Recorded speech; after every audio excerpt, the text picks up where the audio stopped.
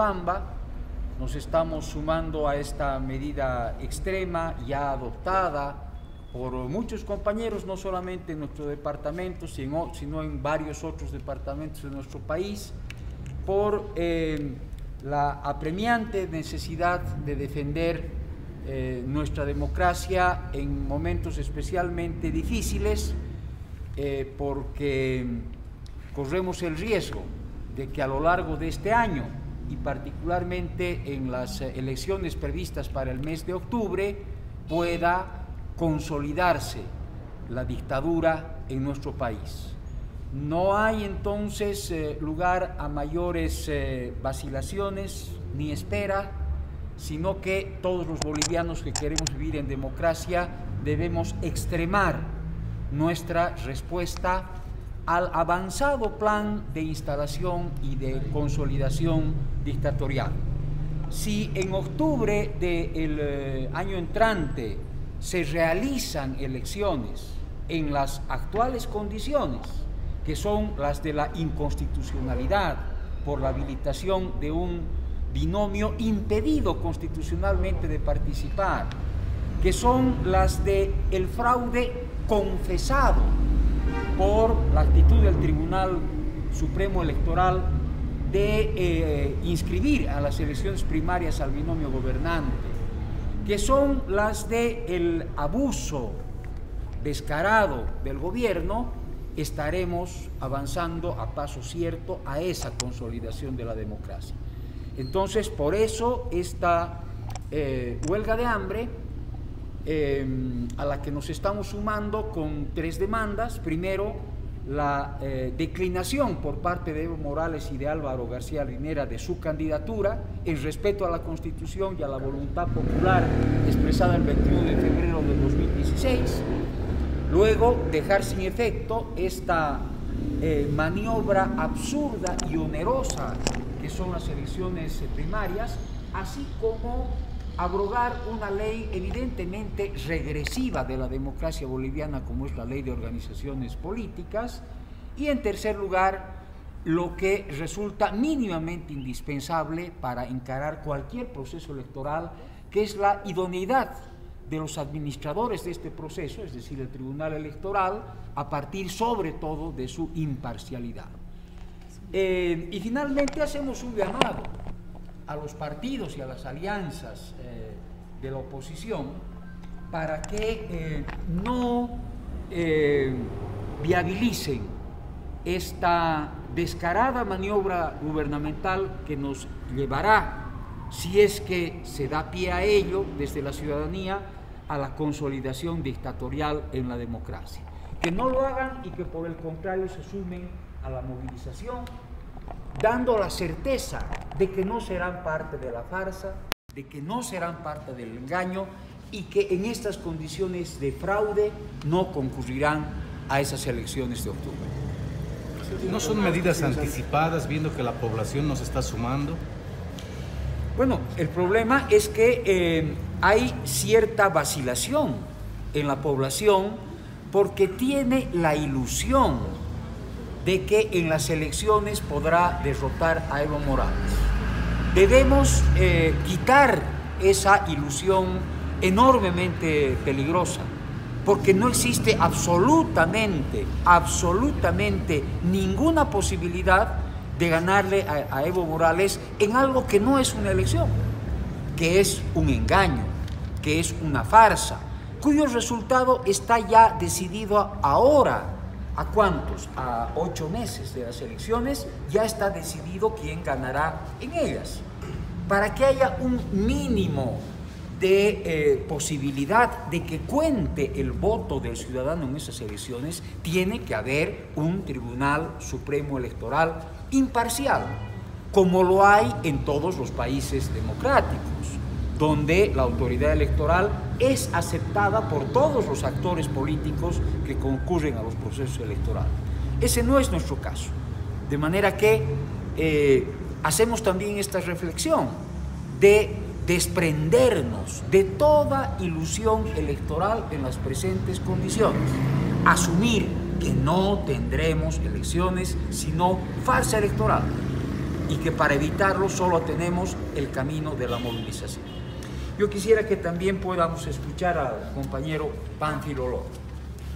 Bueno, señores periodistas, lo que se está viviendo en Bolivia en este momento con las elecciones, posibles elecciones, son inconstitucionales, inconstitucionales. El pueblo soberano dijo no el 21 de febrero del 2016, ratificando lo que se determinó en la constituyente. Ningún poder constituido puede contravenir lo que manda la Constitución y que fue producto del soberano. Hoy tenemos un tribunal, un tribunal, un órgano electoral sometido al gobierno. La democracia no puede funcionar si no se tiene un tribunal imparcial, transparente, que garantice elecciones libres.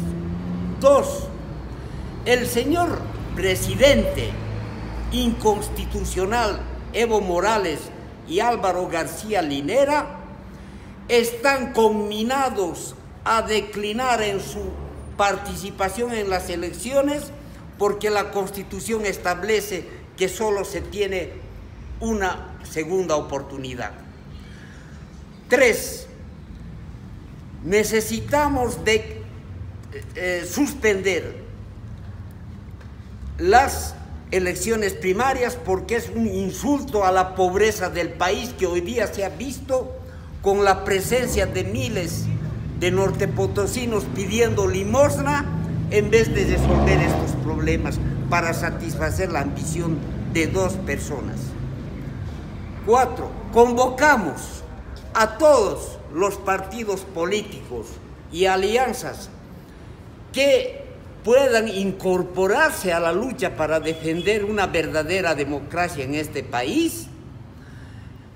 De esta manera, no prestarse al juego del gobierno que pretende posteriormente a estas elecciones mostrar una verdadera careta antidemocrática y dictatorial. De esta manera nos incorporamos a esta huelga de hambre y convocando a todo el pueblo boliviano a sumarse a la lucha para defender la democracia, para defender las libertades democráticas y sobre todo los derechos humanos.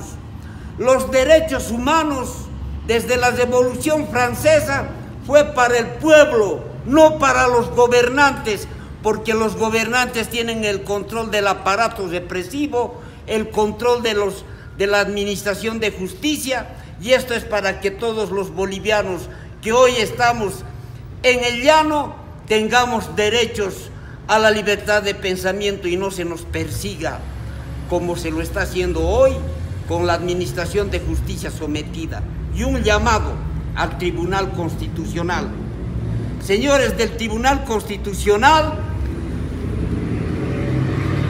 una resolución y auto supremo que va contra los derechos humanos universales y contra la constitución política es inválida y por lo tanto no pueden prestarse al juego del gobierno.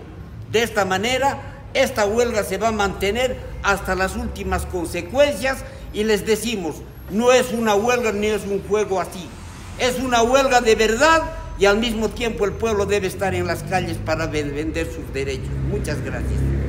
¡Que viva la democracia! ¡Que viva! ¡Que viva el 21F! ¡Que viva! Bolivia dijo no.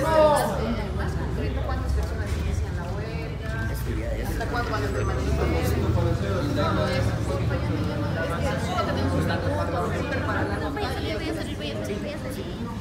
Hasta el día de hoy ya se lleva adelante un segundo piquete de huelga. Cuéntenos quiénes van a asumir esta medida, hasta cuándo se mantiene. El día de hoy, miércoles 26 de diciembre, estamos instalando en Cochabamba el segundo piquete de huelga de hambre en defensa de la Constitución, en defensa de los resultados del referéndum del 21F. Estamos iniciando este piquete con tres personas, el señor Alejandro Almaraz, el señor Pánfilo Lora y mi persona, Lizeth Veramendi.